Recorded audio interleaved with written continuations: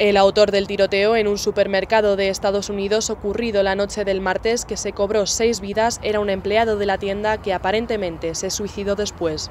Mark Soleski, jefe de policía de Chesapeake, explicó que cuando los agentes llegaron al supermercado, pocos minutos después de la primera llamada de emergencia, se encontraron al tirador ya muerto por un disparo que creen fue por mano propia. Soleski confirmó los seis fallecidos, siete con el autor y cuatro heridos que están ingresados en hospitales de la zona. El jefe de policía explicó que el autor del tiroteo utilizó una pistola para disparar y no dio más detalles sobre él, salvo que era un hombre y empleado de la cadena Walmart, aunque no pudo confirmar si era supervisor ni si se encontraba trabajando en ese momento. Sin embargo, hay testigos que ya confirman ese detalle. En declaraciones a la cadena ABC, Brianna Tyler, una empleada de la tienda, dijo que su supervisor entró en la sala de descanso de los empleados y abrió fuego contra ellos. Esta testigo aseguró que el tirador no apuntaba a nadie en especial, sino que disparaba indiscriminadamente. Señaló también que nada apuntaba a que pudiera acabar cometiendo un crimen de este tipo. La policía fue alertada de los hechos a las 10 y 12 de la noche del martes, hora local, cuando el supermercado todavía se encontraba abierto. Una cuarentena de vehículos de emergencias se desplazaron hasta el lugar en el que también se desplegó un enorme operativo policial que permanecía en la tienda por la mañana.